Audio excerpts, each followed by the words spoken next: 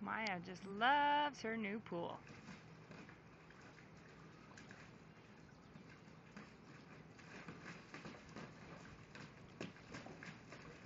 Nothing better than playing in your pool. Oh, and then you peed in it.